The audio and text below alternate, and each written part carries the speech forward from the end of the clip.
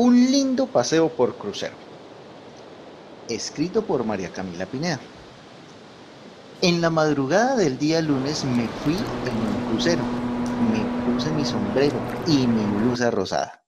Mi padre tenía una brújula. Paseamos mucho, comimos crispetas y en el barco había una biblioteca, donde tenían una gran cantidad de libros y un blog que hablaba de animales muy hermosos como las cabras, dromedarios, dragones y hasta de una lombriz rosada.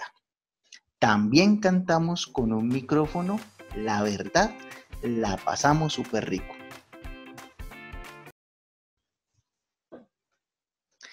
En el zoológico, por Alba Marina Pino. De paseo con mi padre, visité el zoológico y vi de cerca cabras, cocodrilos, llamas, zorros, loros, osos y muchos más animales. Además compartí unas ricas crispetas con chocolate y leche.